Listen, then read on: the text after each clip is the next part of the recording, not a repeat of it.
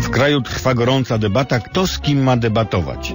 Wiadomo, dojdzie do debaty Kaczyński-Kwaśniewski. Z Kaczyńskim chciałby debatować pomocnik Kwaśniewskiego Tusk. Z Tuskiem z kolei Giertych. Z Giertychem ktoś tam, z ktoś tamem i tak dalej, z i tak dalejem i tepe i tak dalej. Łańcuszek świętego gadanego. No i po co? Dotychczasowe dyskusje polityków jednoznacznie wskazują na to, że jest to jedno wielkie walenie piany. Nie dowiadujemy się nic, czego byśmy wcześniej nie wiedzieli. Biorąc udział w debatach, politycy obniżają poparcie dla swoich partii wśród potencjalnych wyborców. A przecież nie musi tak być. Debaty polityków mogą być atrakcyjne dla widza. Przykład dali Palikot i Giertych. Podczas pyskówy w studiu telewizyjnym Palikot z PO, w skrócie Polikot, zapalił znicz nagrobny, którego zdaniem symbolizował śmierć polityczną Giertycha. Czyli widzimy, może być debata kulturalna i na poziomie, a dodatkowo jeszcze nosić znamiona, y, znamiona showu telewizyjnego.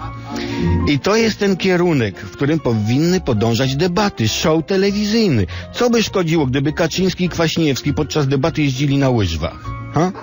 Obaj ubraliby gustowne stroje z cekinami, czapeczki z pomponem, jeżdżą sobie po lodzie i debatują. Radość dla oczu, uczta dla uszu. Debata polityczna mogłaby przybrać popularną formę teleturnieju Familiada. Nazywałoby się to Infamiada. Ale najlepszy byłby teleturniej polityczny zatytułowany Jakie to kłamstwo, nie?